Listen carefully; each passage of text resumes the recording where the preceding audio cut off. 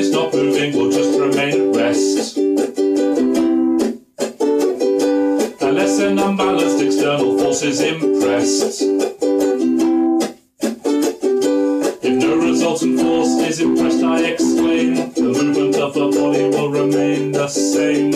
I am going to tell anyone who cares, forces between two bodies always come in pairs.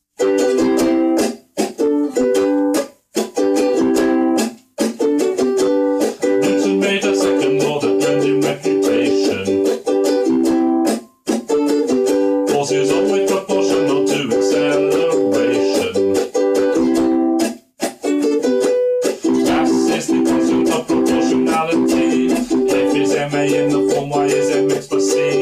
I'm going to tell anyone who cares. Forces between two bodies always come in pairs. The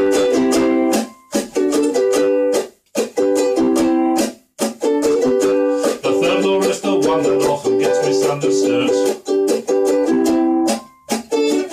Students rarely understand it quite as well as they should. Object X applies a force line when we pay. Line the same force on X the opposite way. I'm going to tell anyone who cares. Forces switching two bodies always come in pairs.